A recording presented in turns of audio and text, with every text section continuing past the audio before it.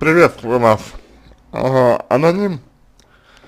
Вы знаете, а, я буду а, с вами достаточно честен, вот, а постараюсь а, ответить на ваш вопрос так, как а, мне видится, вот, и начну, как это водится, не сначала, а с конца. А вы в конце спрашиваете о том, а, в общем, что делать, да, то есть вот я, по сути, а, цитирую, вот вы пишете, в общем, что делать. А, значит, ну, вы пишете, что на йоге повредила коле колено, спорт не друг, сейчас а, далее вы описываете свои а, симптомы, вот, а, значит, меня не, от, не интересует, не отвлекает ничего, хожу на свидание, но как назло все неудачные. Что делать, чтобы что? Она... Тут я бы все-таки э, больше про э, ваш запрос, наверное, здесь, э, вот именно здесь поговорил бы, да? Э, чего вы хотите? А, что вам нужно? А, именно от психолога. А, какой у вас запрос? То есть, что вы хотите, что вы хотите поменять в себе? Понимаете, я увидел у вас достаточное количество негативных установок, вредных установок, вредных для вас установок. Но вопрос в том, готовы, вы, готовы ли от них отказаться, готовы ли вы по-другому смотреть, смотреть на вещи, готовы ли вы что-то в себе менять, готовы ли вы э, подвергать э, критике э, свое мышление и так далее. То есть это вот э, очень важный момент. Понимаете, э, вопрос, что делать, он э, достаточно жертвенный, на мой взгляд, э, по той простой причине, что он предполагает э, наличие предложения вам вариантов того, что делать. Вот. А это все-таки не совсем профессиональным с точки зрения психотерапии. Вот, поэтому э, здесь вот не совсем понятно все же, чего именно вы хотите, что вам нужно. нужно. Э, я хотел чтобы вы определились. А, следующий момент, который я хотел бы затронуть, это момент э, препаратов, то есть то, то, то что вы принимаете препараты, а, и то, что у вас, а, ну, ну, ну, возможно, а, к вашему состоянию, которое у вас есть, да, а, психологическому и, может быть, а, физическому, а, добавляется еще и а, воздействие, воздействие а, препаратов на организм и на психику тоже. И из-за этого острое состояние приобретает, ну, соответственно, химический такой контекст. Вот. И мне думается, что именно э, вот э, это, да, именно это, ну, делает э, такую вот психотерапию, если мы не говорим НЛП, про НЛП, потому что все-таки мне кажется, что НЛП не убирает э, проблем, да, но снимает а, симптомы, но не убирает проблем. А, значит, а, вот психотерапия здесь ну, не совсем эффективна, потому что а, вам нужно, наверное, снять а, сперва острое состояние, которое мне почему-то кажется связано не только с а, психическим положением, но и с физическим тоже с э, воздействием препаратов на вас. Вот. Поэтому я боюсь, что вот именно сейчас вы не совсем расположены к психотерапии. С другой стороны, с другой стороны, опять же, если э, у, у вас э, будет запрос, допустим, запрос, э, к примеру, на то, чтобы, да, вот, э, помочь, допустим, ну, хочу прожить, к примеру, просто хочу прожить этот момент, этот момент, да, вот, то помочь прожить вам можно. То есть именно помочь вам раньше проживать это вот то, что происходит сейчас. Не держать это в себе, а, значит, завершить как-то это все, да, то есть завершить вот эти отношения, завершить этот момент. Эм, снизить эм, эмоциональный тонус у, у вас, вот, и прочее. То есть, вот мне кажется, что это то, то что, что сейчас э, могло бы стать вашим запросом. А прожить, вот помочь прожить. Помочь мне прожить то, что сейчас происходит. То есть вы пока, э, на мой взгляд, не готовы к изменениям, да, вы пока не готовы к э, каким-то переменам, мне кажется. Вы находитесь в кризисе, и у вас как бы ресурсов для изменений, ну, если не, если не нет совсем, то очень мало. Вот. я не уверен, что вы хотите меняться. Я об этом скажу чуть позже. А, но опять же, что может сделать псих, э, психолог, да, что может сделать психолог. Повторюсь, не НЛП. Это вот э, помочь вам прожить. Э, помочь вам, э, как бы, переформировать, переработать вот то, что происходит сейчас, в опыт определенно помочь вам лучше себя изучить, лучше себя понять. Вот. Вот это вот а, то, что могло бы быть запрос ваш.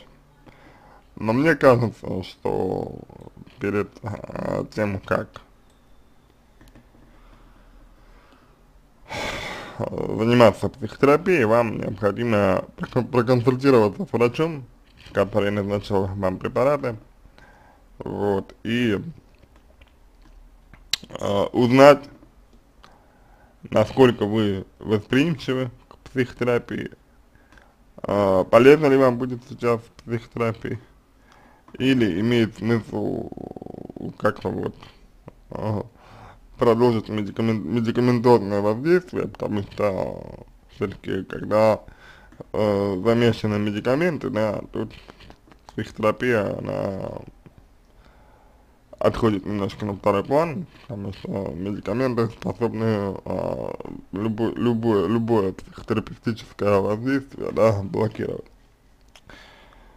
Ну и во избежание вот таких э, моментов, да, во избежание таких моментов, мне кажется, что вам об этом нужно, нужно позаботиться. Дальше, а, значит, вы пишете. Эм, Добрый день, я художница, прошлая модель, 28 лет. Ну вот, э, знаете, вот как вы сразу начинаете описывать, да, кто вы. Я художница, прошлая модель, мне 27 лет. То есть мне кажется, что вот этим вот вы пытаетесь, э, вы хотите показать, э, кто вы. Э, проблема вашей значимости здесь присутствует. То есть вы сомневаетесь в своей значимости, сомневаетесь в том, что вы значимы, сомневаетесь в том, что вы э, ну, чего-то стоите. Вот. И э, первое, о чем вы говорите, это вот то, что, то, что, то, чего вы добились. То есть я художница, это означает, что я творческий человек, это уже такое, такое вот, такое заявление немножко претензионное, вот. Эм, почему претензионное? Потому что, ну, это проявляется в последующем тексте. Вот. Э, в прошлом, в прошлом модель ну, э, опять же, мне кажется, это такая больше, знаете, вот желание, опять же, продемонстрировать, что вы что-то значите. Вот. Я, конечно, могу ошибаться насчет э, модели, но насчет художницы это совершенно точно. Вот, следующим у вас идет возраст, 28 лет.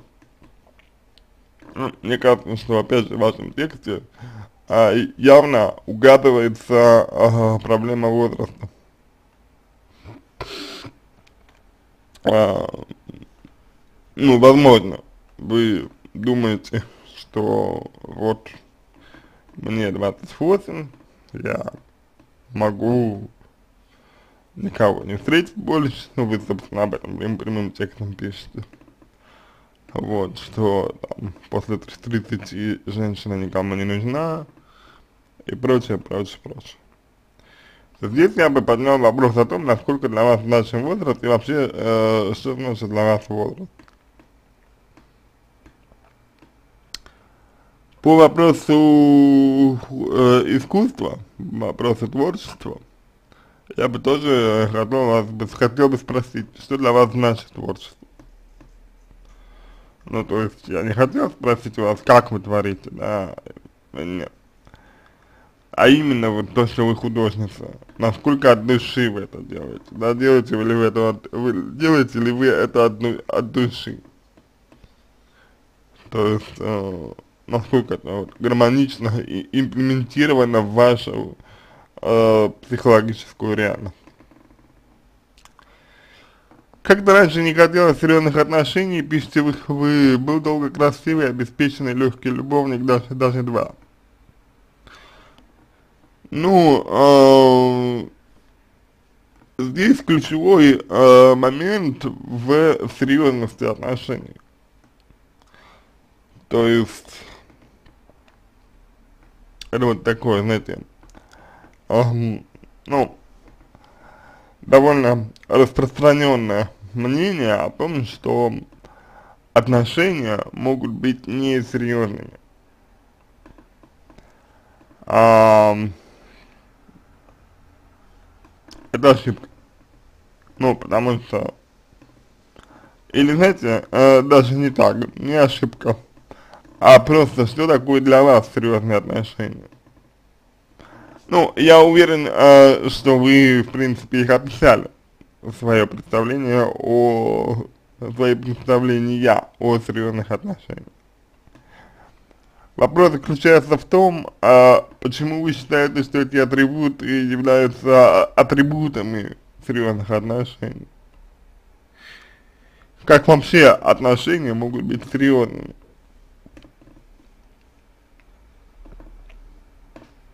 Мне кажется, что э, серьезно это то, что важно, а важно это то, что дает эмоциональный отклик, а вряд ли вам не давало эмоциональный от, эмоционального отклика а, взаимодействия с вашими любовниками.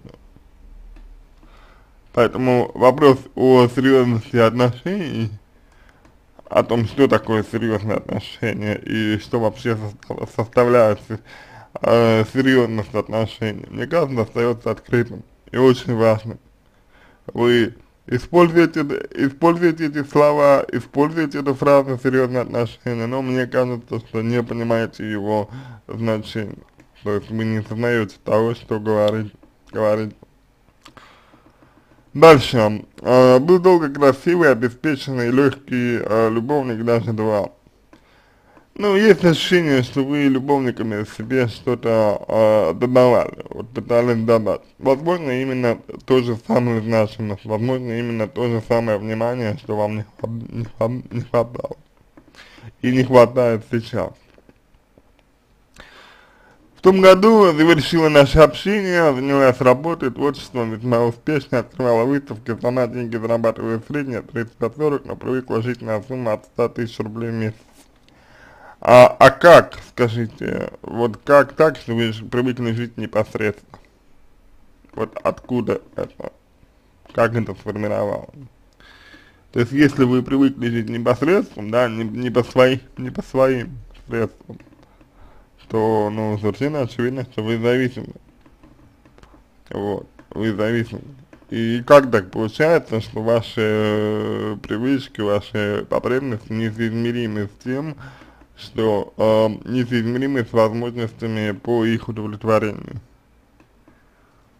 То есть здесь вот уже идет, идет дисбаланс, да, здесь уже идет дисбаланс. Мои желания я ставлю выше своих возможностей. Так происходит либо из-за обиды и чувства несправедливости по отношению к миру, к окружающим людям.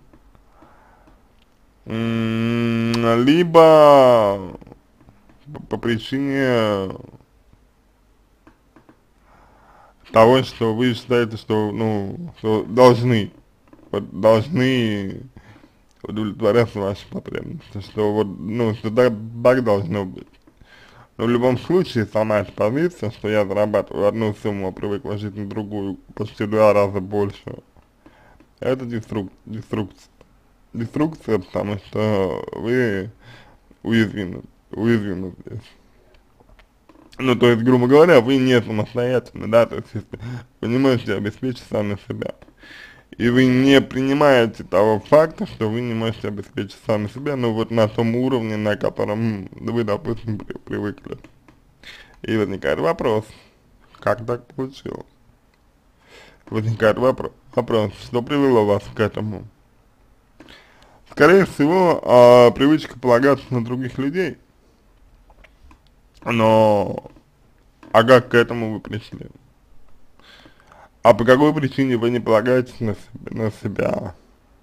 Ну и так далее. И так далее. Для меня важно материальное положение мужчины, пишите вы. Ну, э, почему вам не важно ваше собственное материальное положение? Э, вот тот вопрос, на который нужно ответить. Потому что Материальное положение мужчины, каким бы оно ни было, это материальное положение мужчины. И к вам оно не относится. Но если вам важно материальное положение мужчины, то это говорит о том, что вы опираетесь на него. Вы считаете, что можете опира опираться на другого человека. То есть, по сути, мужчина, вот то, как я их вижу сейчас, для вас, это костыли, на которые вы опираетесь, для того, чтобы создавать иллюзию баланса вашей, вашей жизни. В сентябре 2018 года познакомилась с В. 40 лет, очень обеспеченный, долго и очень красиво добивался, ухаживал и заботился. Ну, здесь э, вы себя э, преподносите как некий приз, как некий приз, как некий объект завоевания. Что сказать?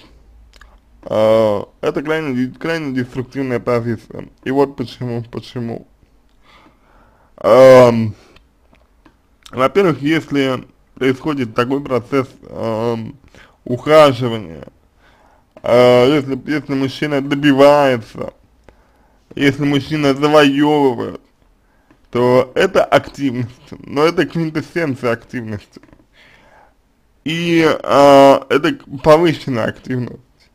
И это восприятие э, партнера, в данном случае вас, как некого объекта, который нужно завоевать, сделать своим.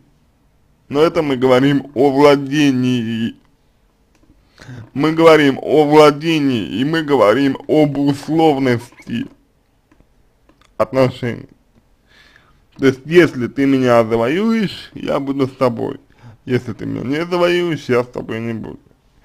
Условность уже исключает искренность и эм, такую вот чувственную свободу, что ли, в отношениях. И вы себя сами позиционируете как приз, вы себя сами позиционируете как некий, некую награду, что ли. Но ведь награду добиваются, а потом, извините, ставят на полку. Человек – это не награда. Человек – это не приз. Вам либо нравится человек, и вы хотите для него что-то делать, сразу вы что-то для него делаете. Либо вам не нравится человек, и вы не делаете для него ничего. Но здесь вы влюбляетесь не в человека, а в его отношение к вам. Не в человека, а в то, кем он вас видит. Ну, по сути, то, что описывает мой коллега Кудряшев Игорь Леонидович, правда, несколько короткой форме, краткой. Э, вы пишете, к декабрю я размякла, э, стали встречаться и жить вместе, вот. Вы позволили себя завоевать, размякла.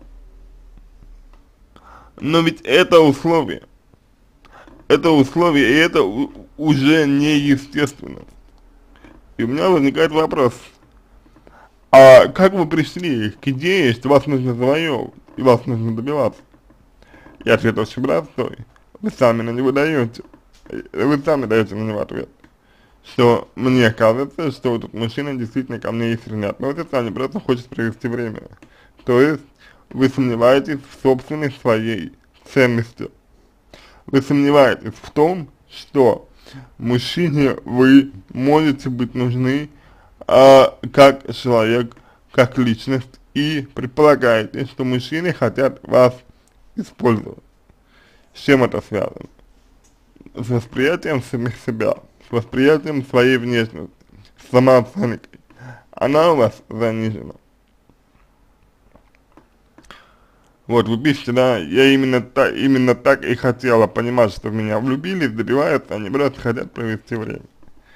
Понимаете, вот вы пишете, я именно так и хотела понимать, что в меня влюбились, меня добиваются и, и добиваются, они просто хотят провести время. Но вы не понимаете главного, что влюбились и добиваются, это то же самое, что и хотят провести время, только с большей страстью немножечко, но то же самое. И что самое здесь интересное, это то, что вас влюбились, вас добиваются, но вы-то сами, вы-то сами ничего для человека по-прежнему делать не хотите. Для вас-то самое главное, что вас влюбились и вас добиваются, а не, для вас не главное, что вы хотите делать для человека. Понимаете?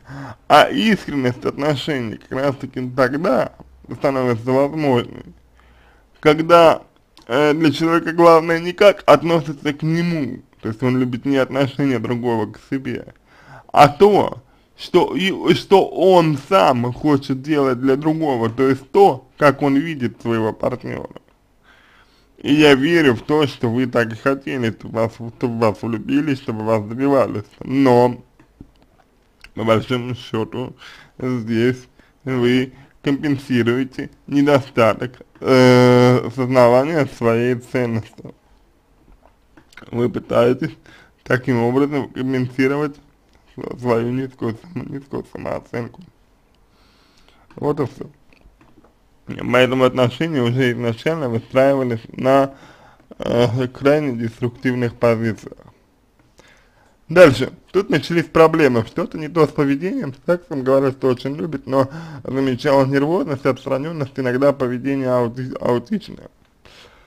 Ну, э, я так понимаю, что вы говорите в целом про то, что мужчина, э, в, целом, в целом вы говорите про то, что э, человек перестал э, уделять вам э, в полной мере внимание свое, то есть вы перестали э, чувствовать себя в центре его внимания. Что вас задевало, заставляло, заставляло вас думать о том, что вы не единственная, на кого направлено внимание мужчины, и, соответственно, вызывало ревность, о чем вы э, и подтверждаете, говоря про э, то, что думали о его бывшей, э, которая присутствует, э, присутствовала в его, в его жизни. Понимаете, какая штука? То есть стоит вам почувствовать, что вы не в центре внимания, вы тут же начинаете испытывать, испытывать негатив. Возникает вопрос, почему? Как у вас это происходит? Как происходит процесс, что из того, что вы не в центре внимания, вы делаете вывод, что ну, что вот вы, вы уже меньше интересуете, интересуете человека. Но самое главное заключается в том, что это нормальная реакция. Ведь мужчина вас добился он добился, все. Зачем что-то еще делать? Для чего что-то еще делать? Понимаете, э, это общее для э, случая с мужчиной и случая, случая с вашими свиданиями, которые неудачные. неудачные. А если э, люди добиваются друг, ну, друг, друг друга, они не видят в друг друге личность, они не видят друг друга человека, они видят друг друга только то, то, чего они хотят добиться.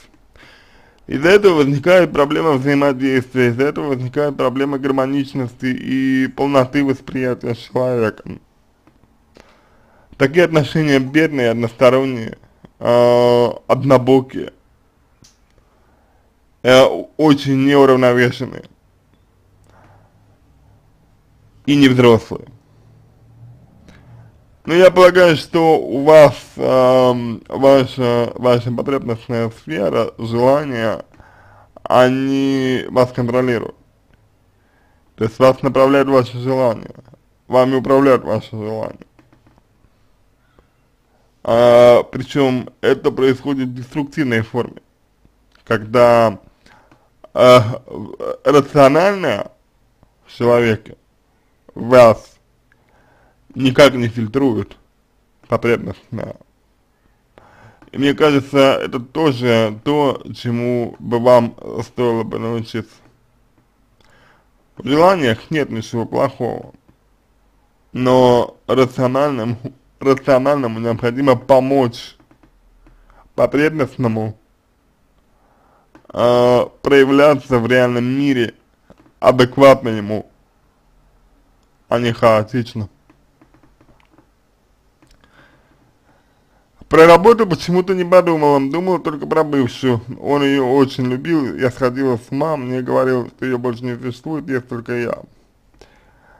А, значит, наверное, она была для него идеалом э, женщины жизни, меня это всегда убивало. А чем, из-за чего вы сходили с ума? Это ревность. Ревность это неуверенность в себе, страх одиночества, заниженная самооценка, отсутствие собственной, ре, собственной реализованности и, значим, и значимости. То есть вы, аноним, конкретно так себя обесцениваете, конкретно так сравниваете себя с другими людьми, конкретно так не принимаете себя такой, какая вы есть, конкретно так стыдитесь чего-то в себя. В целом все устраивало, попросил уйти с работы, я готовилась с до ночи, рисовала, строили планы на свадьбу, на свадьбу осенью детей, оплачивал учебы, мои проекты, жила иногда в Европе, он был не против, лишь бы мне было хорошо. Но вот здесь у меня есть такое ощущение, что вы как бы полностью свалили вот всю ответственность за свою жизнь на другого человека. Вообще я бы отметил, что мужчина, вы, он э, старше вас на 12 лет, соответственно, есть вероятность того, что вы относитесь к нему как к отцу. И вот отношение к нему как к отцу действительно может, может быть родом из, из детства. То есть вот как-то вот желание быть таким ребенком, желание быть э, с тем, кто вас защитит, с тем, кто все для вас сделает, вот это все. Ну вот, ну то есть такая вот получается получается такое чувство, что я хочу быть ребенком, не хочу быть взрослым. Чувство, что чувство какого-то какой-то какой обиды, фрустрации по поводу взаимодействия с отцом, или, может быть, взаимодействия с родителями вообще. Я думаю, что мужчины вашего возраста вам не интересно, кажется вам, вам, ну, не стоящими внимания. То есть, с одной стороны, потребностная сфера у вас эм, подавлено, потому что вы не можете вести себя э, за, со своими, э, как, ну, я так думаю, со своими ровесниками э, на равных. Вот, вы можете вести себя более-менее естественно только с теми, кто постарше. Да, вот, потому что эти люди, они э, могут выдержать э, э, ваш напор, э, ну, ваш напор желаний, скажем так, да, вот, а ваши ровесники кажутся вам слишком маленькими. И это отнюдь не означает, что вы слишком взрослая, нет, это, это означает только, что вы направлены на родителя, то есть вы хотите родительского, родительского отношения. Вот, не партнерского, а родительского, не гармоничного, а подчиненного, а подчинение это всегда зависимо, зависимость. Uh, у меня уже тогда началась депрессия, обиду на его характер, uh, так, uh, депрессия это что, заболевание, почему, почему депрессия?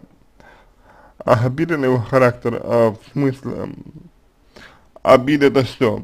Это ожидание, ожидания основаны на ваших желаниях, ответственность за свои желания вы перекладываете на другого человека, соответственно появляется обида.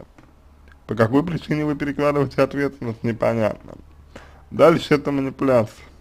То есть я обижаюсь, я вызываю у другого человека чувство вины, чтобы он сделал то, что мне, ну, что мне нужно. Такую модель поведения вы могли почерпнуть только у своих родителей. От этой модели нужно отказаться. Третий, третий момент. А вас задевает чем-то его характер. То есть меняет ваши представления о себе. Необходимо разобраться в чем. Нежелание рисовать и что-либо делать, хотя планов было вагон, мы жили в огромном доме. Ну, здесь немножко хаотично, хаотично вы, конечно, излагаете, вот, но нежелание рисовать может быть связано и с творческим, творческим кризисом. А планы, как известно, это больше про, рациональное.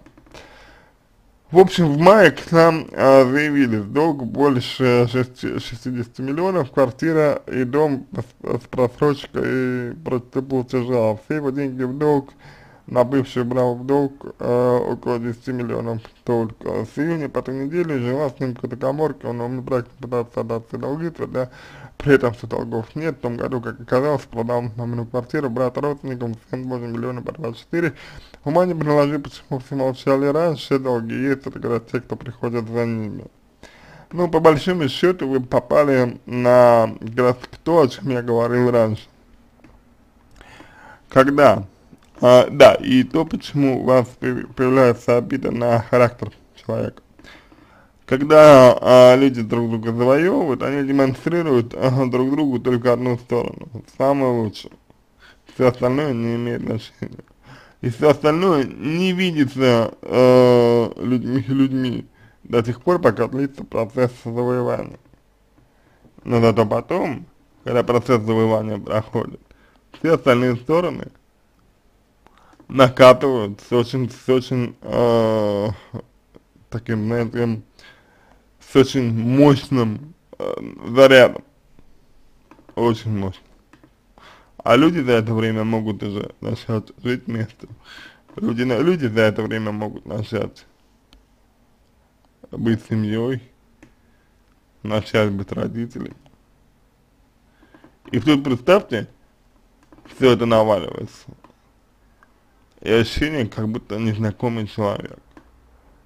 Ощущение, как будто ты и не знаешь, кто перед тобой и чувствуешь себя, эм, чувствуешь себя потерянным, чувствуешь себя растерянным, в таком, такой как будто бы невесомости. Знакомое, знакомое чувство? А, вот это, да, так бывает, когда э, отношения строятся на, на завоевании. И что самое главное, вы продолжаете идти, идти сейчас этим же путем, ходя на свидание. Все то же самое будет. Я уж молчу про то, что клин клином вы, вы пытаетесь выбить. Жили ужасно ругались. Ну, а, здесь я бы рекомендовал а, поисследовать психологическую игру «Скандал» и а, перейти от «мы», да, вот то, что мы ругались, к тому, что я ругал. Вот вы пишете, что я дралась. Вот это, по, по крайней мере, здесь вы говорите про личную ответственность, что я я драл. И я ругался. Но из-за чего? Как происходил процесс, что я ругался? Как происходило, что я дралась? Это нужно разобрать. Плакала. Из-за чего? Ага, значит, он в, в коматозе. Ну, не очень понятно, что, что вы имеете в виду. Все выходные проводили за городом, всегда спали в обнимку, по итогу стала давать свои деньги, привез, при, э, привязалась как к маме или как к родному человеку, хоть отношения стали походить на двух агрессивных алкашей, с ним рядом спокойствие, без него нервы. Ну, это классическая история созависимости, вам уже мой коллега, опять же, Кудряшов Игорь Леонидович об этом сказал, не вижу смысла здесь что-либо комментировать. Могу только сказать, что э, вот когда человек завоевывает, да, другого, он же создает некий идеальный образ свой. В вашем случае так еще и совпало то, что вы всегда так хотели. То есть человек не инвазировал вам образ, а вы как бы имплантировали образ. И вы делаете все для того, чтобы а, этот образ удержать сейчас. Ну, делали, точ, точнее.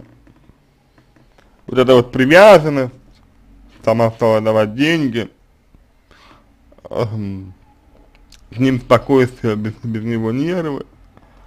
Это в том числе и про то, что вы хотите, э, вы хотите сохранить образ тот идеальный, который, который создала имплазия. Это помимо того, что вы боитесь остаться одна, и помимо того, что вы себе не доверяете, и все перекладываете на своего партнера. К себе вы вообще, к себе вы вообще относитесь достаточно плохо, надо сказать. Устроилась на работу, стала принимать э, фиварин, э, чуть не померла, переш, перешла на эглонил. Знаете, я бы хотел обратить внимание на то, что для 28 лет а, вы рассуждаете, ну вот, э, что-то чувствуется в вашем тексте, такое, знаете, постарше. Лет, так скажем, на 10 я бы хотел бы э, немножечко поподробнее этот момент изучить. Если бы не сказали, сколько вам лет, я бы подумал, что вам вот где-то на 10 лет больше, примерно. На 10, может быть, может быть, чуть, чуть меньше, больше. Вот. Вот мне больше хотелось этот момент изучить. Дальше. А, значит, выписал психиатр. Но опять же, а, с одной стороны, хорошо, что выписал психиатр, но с другой стороны, если психиатр выписал, должен, был, должен быть диагноз. Если должен быть диагноз, значит должно быть лечение. А препараты, к сожалению, не лечат. Я ничего не хочу, не интересует ни работа, ни творчество, очень скучаю по ВС, той субботы окончательно ушла от него, и хотят посадить, но чуть не поставил моего отца, тоже хотел взять у него в долг. Ну, здесь, э, в общем, в общем-то, да классическая история про созависимые отношения. Боюсь, никому больше не буду нужна, а никто больше не будет так заботиться, не захочет свадьбу детей, очень-очень к нему привязал. Ну, смотрите, боюсь, никому больше не буду нужна, а вы себе нужны? Э, боюсь, никто больше не будет так заботиться, а вы сами о себе заботитесь? То есть, откуда, откуда эти, вот эти, вот эти страхи, страхи появляются?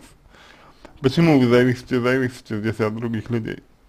Дальше не захочет свадьбы детей. Зачем свадьбы, зачем дети? Почему вы хотите семью? Ради защищенности. Как получается так, что вы не чувствуете себя защищенной? Нет лишней личной границ. Личной границ между вами и другими людьми, всем внешним миром у вас нет.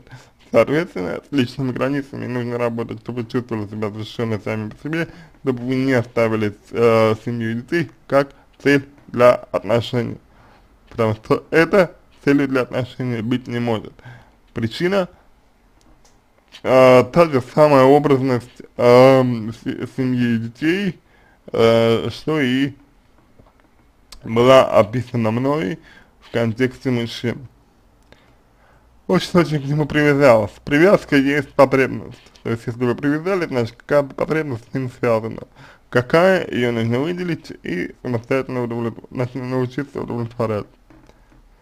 А, свадьба должна была быть в этом сентябре, не могу спать без него, но психолог же заставил оборвать эту связь. Ну, психолог ничего заставить не может. А, вы сами это сделали. Делают не психологи. И не очень хороший психолог, если что-то заставляет делать клиента.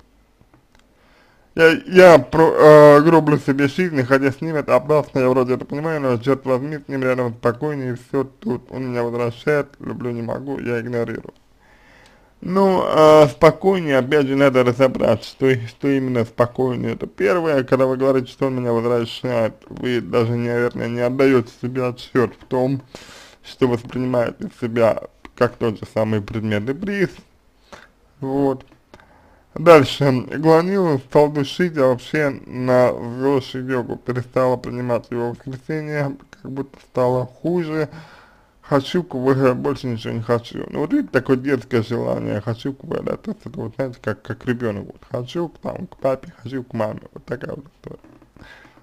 Хочу спать, э, страшно за будущее, потому что не доверяете себе и не доверяете своим чувствам. Э, пытаетесь разумом что-то предсказать, что, в принципе, сделать невозможно. Не радует ничего, хотя мне это не свойственно. Тремор это как будто кофе, кофе перепила. Ну, опять же, не радует э, совершенно, э, совершенно э, понятно. Почему, да, не радует. Э, не радует по такой простой, на мой взгляд, э, э, значит, э, э, причине, что вы а, ну, а, а, в себе подавляете а, вот а, определенные чувства, ну определенные чувства,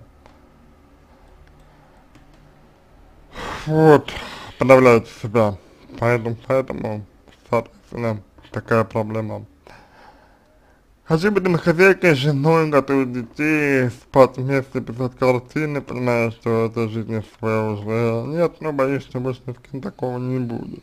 Но это опять же история про защищенность, недоверие себя. Вот, в принципе, то, что я могу вам сказать. сказать. Если готовы по этим направлениям работать, буду рад вам помочь. На этом все. Если понравился мой ответ, буду благодарен за его оценку в качестве лучшего. Я вам желаю всего самого доброго и удачи.